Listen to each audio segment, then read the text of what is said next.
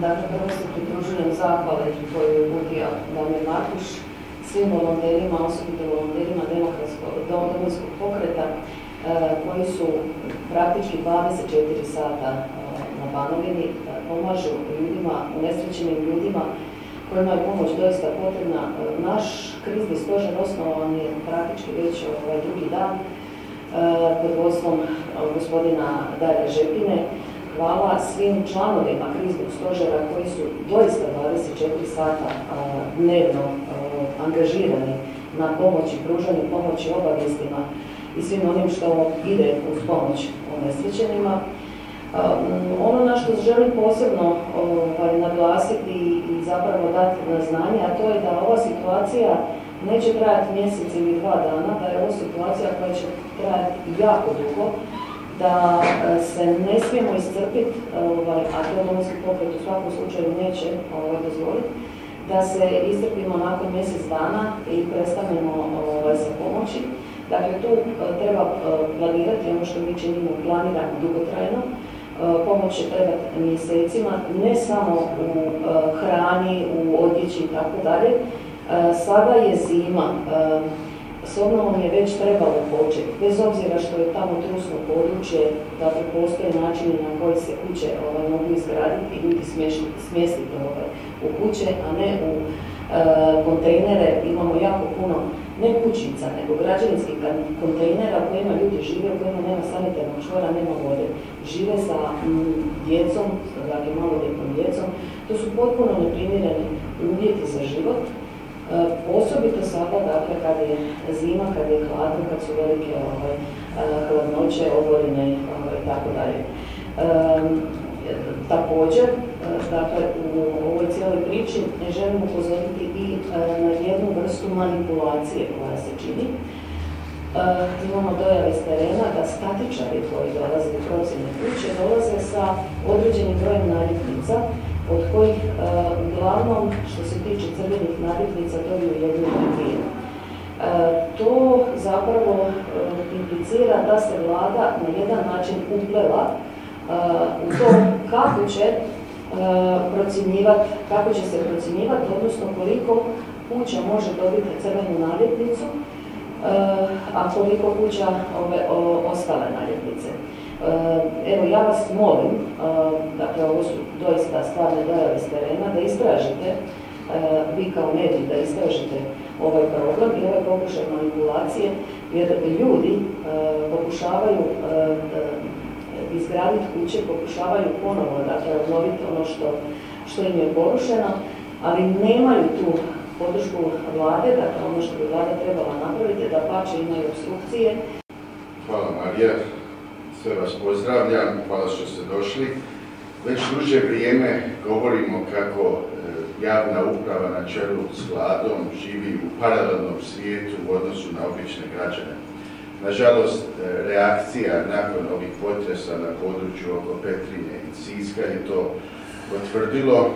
Mislim da je svima jasno da su građani na privatnoj osnovi se puno brže i bolje organizirali nego mnoge državne službe i to smatramo opravdanom kritikom i ne pokušajem da se dekonstruira Hrvatska država. Imamo najnoviji slučaj također oko imenovanja e, čelne osobe Podravke. Postavlja se pitanje zašto je to uopće političko imenovanje. Dugo govorim da vlada previše se miješa u stvari koje se ne tiču, na primjer realni sektor gdje ispadne da Čokolino je strateški proizvod gdje vlada mora voditi računa o tome ko upravlja tim poduzećem. S druge strane, gdje ljudima treba pomoć i ne znaju kako će preživjeti sljedeći dan, tu službe kasne i cijela reakcija e, vlade, rekao bi, je bila kilava. E, ponovit ću ovo ukorabanje običnih volontera i građana pa i navijača koji su skočili u pomoć je van svake pameti. Što se tiče cijepljenja, e, naše mišljenje je da to ide presporo. E, iznijeću podatak da u Velikoj Britaniji preko 2 milijuna ljudi je već cijepljeno, barem prvom dozom, s drugom oko 400 tisuća. E, u Hrvatskoj ta brojka je oko 40 tisuća i nadamo se da neće nastati problema oko druge doze, jer vidimo da cijepiva kasne. Mi smo također slušali apele udruge glasa poduzetnika koji oni traže da se dignu ove mjere do prve, prvog veljače. Mi to podržavamo. Dakle, trebamo imati sluha za ljude koji ne smiju raditi cijelo ovo vrijeme. Uskočili su u pomoć odmah, u Petrini su organizirali kuhinju koja je pripremala veliki broj obroka bez naplate tim ljudima i sada očekujemo da i vlada ima sluh za njih. Mislim da ovo predugo traje, puno košta i trebamo vratiti ljude na, na posao. Dobar svima. Evo, kratko ću vas upoznati sa našim aktivnostima na Banovini, vlasti hrvatskoj javnosti. Domovinski pokret je u nekoliko skladišta najveći putini prikupio preko 1200 tona radnih potrepština za pomoć području pogođenim potresom. Operativni dio koristi 12 volontera koji su na raspolaganju 24 sata. Terenski dio čini oko 2600 volontera svih područjica domovinskog pokreta, od čega uz vozila oko 200 volontera i spremnih 10 kombi vozila na raspolaganju 24 sata. Centralno skladište u Kutini dostupno je sve dane u tjednu, a imamo i organizirano po potrebi korištenje 24 sata.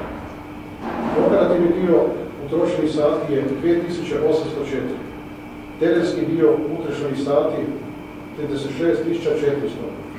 Skladišni dio utrošenih sati 2363.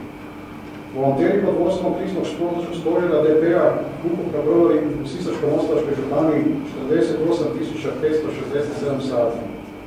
Zahvaljujem se svim članovima domovinskog pokreta, volonterima, dobrim ljudima, donatorima, saborskim zastupnicama DP-a na čelu sa predsjednikom Vesnom školom. Zahvaljujem se svim navijačkim grupama koje su mi dale ogromno povjerenje, ali i obvezu. I zajedno ćemo napraviti sve da pomognemo potrebitima. Skupljanje donacije ide po planu i nastavljamo s time. Hvala svima koji su uplatili i koji će uplatiti.